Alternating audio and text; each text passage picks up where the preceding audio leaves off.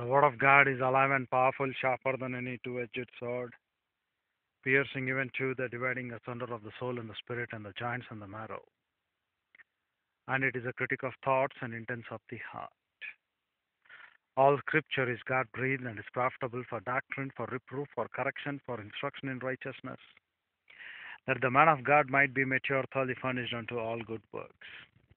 Study to show thyself approved unto God, a workman that needeth not to be ashamed, rightly dividing the word of truth, or accurately handling the word of truth. Dear brethren, how many lessons have been there for us to learn in the Bible? Because it is the true revelation of the mind of Christ, not given by the inspiration of men, but God breathed. Theopneustos, the inspiration of God. When Morgan Freeman went into search for God by starting to know what is creation, he will never come to know until and unless he believes by faith. In Genesis 1 1, when Lord our God created the heaven and the earth.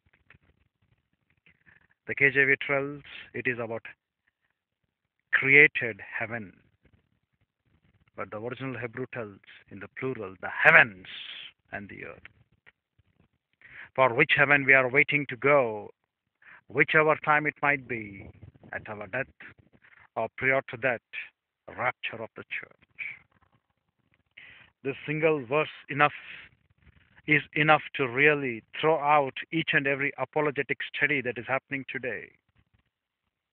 Deism, pantheism, materialism, whichever manner they want to look upon creation, rationalism, empiricism, everything will be washed off by that one single verse. But they are not enough men to know why doctrine has been revealed so clearly for us to understand the truth. Why doctrine has been made known for us to really imply to our lives. The only problem with us is we, the believers, are not truly loving the Word of God. We are not really loving.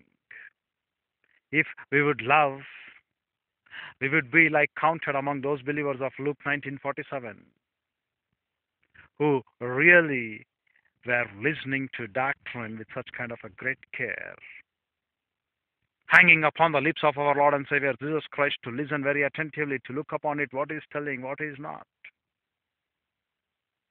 so that they could perform what He has spoken, they, so that they could grant what He has spoken in their lives and really change. But today, when a minister has been telling the word of the Lord, the first thing what the believer has to do is that he has to check whether he is the doctrine of Christ or not he is from the bona fide gift of a pastor teacher or not. How he can really discern until unless he knows what is the doctrine of Christ. Christianity has been demoralized to the moral standards. The high standards of virtue are no longer in the Christianity today to grow up in the knowledge of epignosis, where Christ is indwelling in us, a permanent place of lodging in our soul and spirit. They don't want to look upon that katakrio, but rather they want to look upon that which is katakrio for Satan, where it's making its copulation and producing false teachers. That is what it is happening today in our pulpits. When Lord and Savior Jesus Christ was there, he was of God. I came to do my Lord's will. My meat is to do God's will. I labor for the food which perisheth not. I have been born to this end so that I could be a witness for the truth. And the only two things what he has told give to the Caesar the things of the Caesar. And in the world, he told only one more thing be pure as dove and be sharp as or wisdom as serpent. And following the footsteps of our Lord and Savior Jesus Christ, Apostle Paul says, have been crucified with Christ. It is no longer he who lives in me. It is no longer I who lives, but Christ who lives in me. Until unless he has been crucified, you cannot rise, says Galatians 6.14. Till the crucifixion could happen to you, you will be under legalism or carnality. The trends which ever go, like Christian moral degeneracy or Christian immoral degeneracy that are happening around in your whole sin nature. Because of your area of weakness or your strength. Of your weakness, you sin. Of your strength, you overcome it by paying because you create it by your own mind, by your own imaginations, because they are the brainchilds of your own thinking. You look upon legalism, you look upon XYZ because you think God is a briber or God is a beggar who doesn't have money with him. So you bribe him by telling that, I will give this to you, Lord, so you forgive my sins. And so are the pastors of false one who are standing in the pulpits and they're training them up in that manner. But never they will know that my Lord looks upon integrity of truth, doctrine, doctrine, doctrine. Righteousness. Does not he tell in the Old Testament time itself, What are your burnt sacrifices to me? Why do I need them? I hate them, saith our Lord. Can you think you can give the entire world bulls or flocks to my Lord? Is not, because He is the one who gives to us everything. Don't ever think that Lord requires some money or is begging some money. That will be done because by the pastor teacher who's standing there. If at all he has the bona fide gift, he will never do it. And if he doesn't have the bona fide gift, he will definitely do it. To trap you, to beg you, to use ministry for money, for some pieces of bread or for some handful of barley, he will definitely do it. Take it granted. Our Lord gave it freely, we need to give it freely. For your survival needs, you may ask the question, right? You are right. The righteous giving of the people to whom, when they listen to the word of the Lord and they grant you, that is performed. That is the righteous giving, not simply begging them for money. Because many of the time people will lift up their plates to take offerings. But when we come to the book of Ephesians 4:31, lift up that is evil in you, saith our Lord. But men don't love it. Men don't look upon it. And why do this men they want to look? They want to say, where is the coaching? Where is the teaching? Where has been learned? For those apostles in Acts, we know chapter 4, they have not learned people, but they're teaching great doctrine. When we come to John chapter 17, verses 14 through 16, we find our Lord and Savior being not taught, but he has been teaching so greatly. So will be the pastor teacher who has been trained by the bona fide gift of a pastor teacher. Not in the schools of men, but in the schools of Christ. Not with the flesh and blood, but with the Spirit. Learning in the heaven. Kneeling down for Him and understanding the truth by a right pastor teacher to whomsoever he has been directed to send. Earlier, to whom, before they could live to this earth, to whom our Lord has given that bona fide gift, they will come and train them up. By His teachings, by His tapes, by His writings. And there is nothing that could be required for us to confirm with flesh and blood. To go and say and say, Lord, check me out whether I have this gift. Going to a higher authority and telling that, Lord, check me out whether I have this gift. If you have the gift, do you know what you do? Like Apostle Paul did. He went to Arabia and came back into Damascus and stayed there for three years to learn doctrine. The first thing he never went to confirm or to have his ha, have his hands laid upon by the other apostles. No. To confirm with the flesh and blood. No. Neither of the apostles he went. He knew he had the bona fide gift of apostleship. So he went for preparation, for study, study, study, study, and then he came back. After coming back, he met so and so apostles, he said in Galatians 1. Today, the trends are being totally reversed. They want to say they want to teach them in the doctrine of the schools. What? Legalism, morality. And at the end, they want to say we are we are appointing him to be the we are anointing him to be the pastor to the church, and not even taught the original principles of the ICE concept, isagogical, categorical, and exegetical of the word. If it is not by the power of the word and the ministry of Lord God, the Holy Spirit to transform you, to renovate you, then there is no word at all. In order to take that word, we need to go for the original language of the scriptures of ICE concept. If you don't exegeomai, as our Lord said in John 1.18, you can never know. Never you can know in your life. That's why Morgan Freeman, pastor, we don't know whether if he's a believer in Christ. His pastor should have taught him the true exegesis of Genesis 1.1. But since today men love popularity, fame, and money by using the name of a ministry, doctrine has not been taught. And if the people were not so much made up of time to look then they wouldn't have come every day. Why they will come every day? The preacher is preaching doctrine. The preacher is teaching didaskan, doctrine. And they don't want to lose even a single word from his mouth. They want to hang up upon his lips. And when he's preaching, they want to learn doctrine from his mouth so that to perform, to grant what he has been taught. Today, men love that which has not been taught. Men look to perform that which is not at all worthy from the Bible doctrine. Standards of men have become more than standards of God. Rudiments of men become more than rudiments of God. Traditions of men have become more than traditions of God. And men love this. And our Lord said to those Pharisees and scribes, By your traditions you have nullified the word of the Lord. Traditions are not, weekly once is the not the church. Daily preaching, daily once is the church. And that's the true burden of a pastor teacher because there is much to communicate laid down upon our shoulders. We cannot finish it though you have 1,000 years on this earth. If you go on preaching weekly once, no, solid doctrine has to be taught morning one hour, evening one hour. As according to the day our Lord taught, every day as it came, He was teaching, teaching, teaching. But there are always backed up by Satan, like the scribes who have written the word, or the chief priests who were applicable to them. They wanted to destroy, they wanted to nullify him. But they couldn't because the hearers were very attentively hearing to his doctrine. If they would have come, these people would have nullified them. They waited for a season to come, as Satan was also waiting.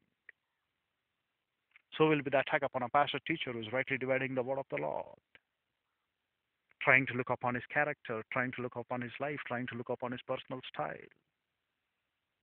So is Satan always trying to look upon his life and emphasizing, see what he is. Apostle Paul was also a great persecutor before he could be in the church. After coming to the church, what he was. After believing in the Lord and Savior Jesus Christ, what he became. Let none count. When he confirmed his call, he did not go to meet with the other apostles to, to look and to seek and to search. He went directly for teaching, for learning the word for three years in, in Damascus, in Arabia.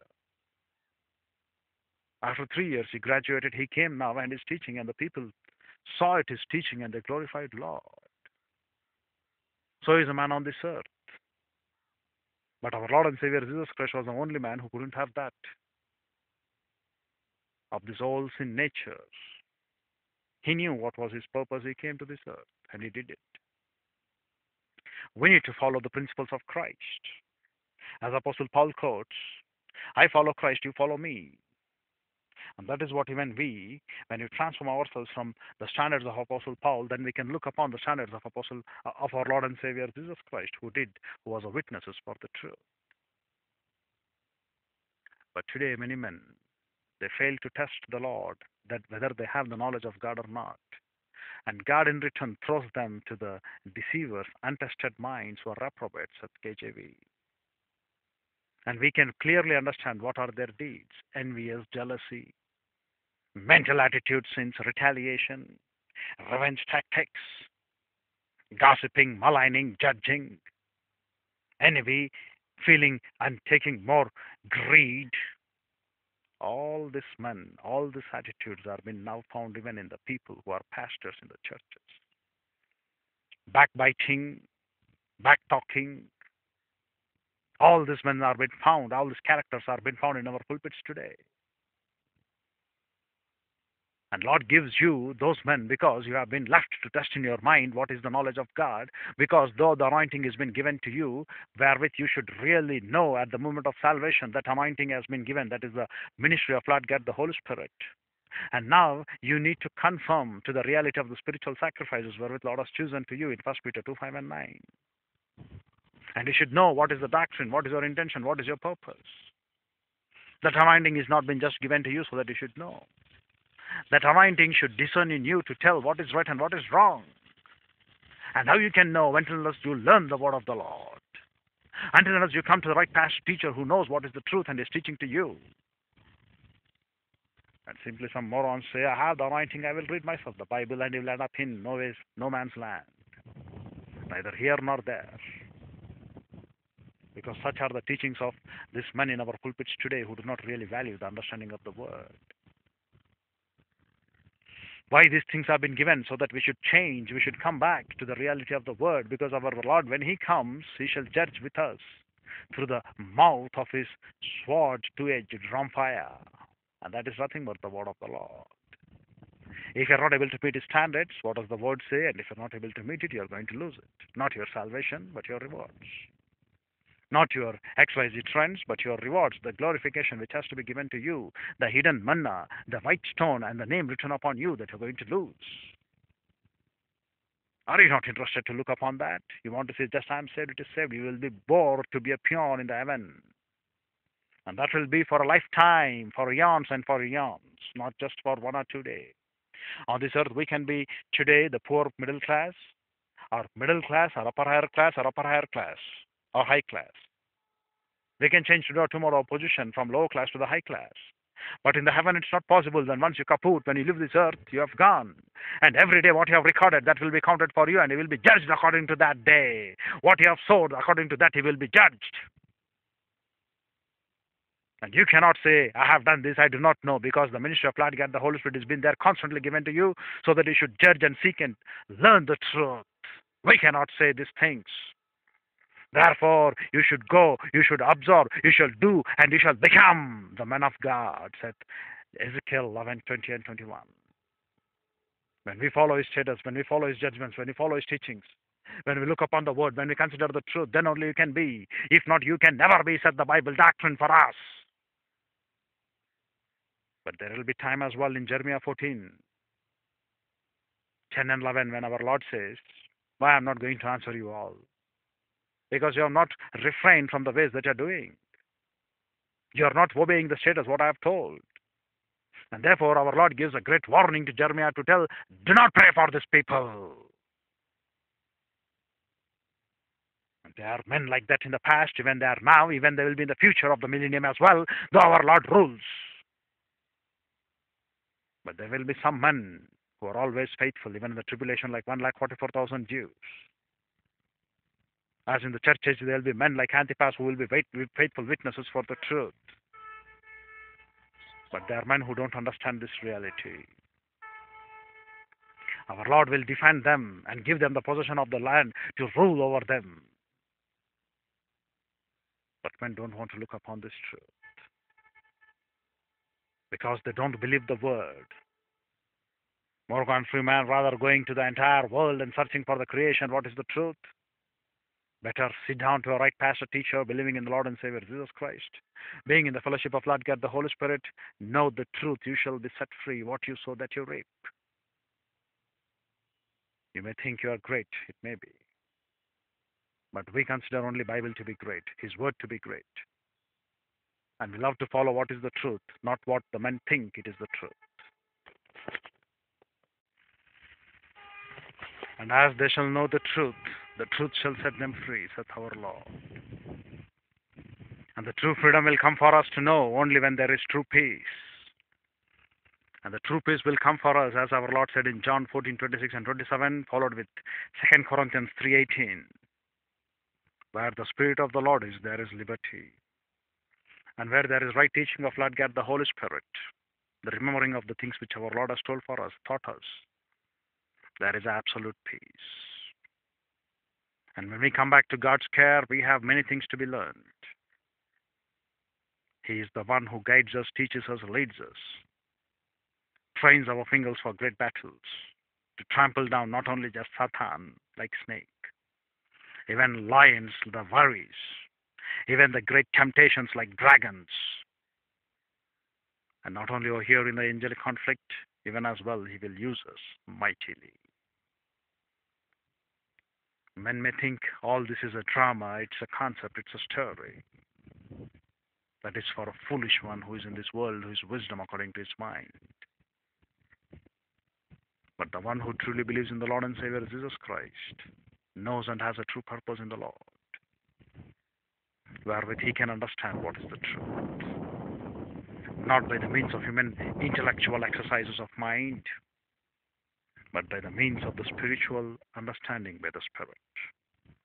The spiritual things are being taught by the Spirit of Holy One. Natural man cannot perceive nor he can understand that.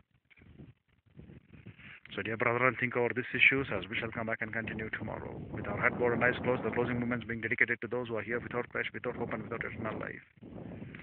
Inaudible tellings, Lord God the Father, that you believe upon Christ, that is the moment itself we shall have this eternal truth. This eternal truth for is so very simple, believing in the Lord and Savior Jesus Christ, we shall be saved. Whereas for the believer, the great matter is to grow up in grace and the knowledge of Bible doctrine. You shall learn to acquire the possession of the truth, and the truth shall set you free. And for the pastor teacher, the great matter is to carry Sotam Lagan, herald the word in season out of season, because of the diameter of my witnesses, where it has been called. The number one diameter witnesses in the Trinity, followed by the Bible in our hands, and the number two, our hearers. If there are no hearers, do not worry. Besides nature, the entire angelic host will be our witnesses. But what is our work?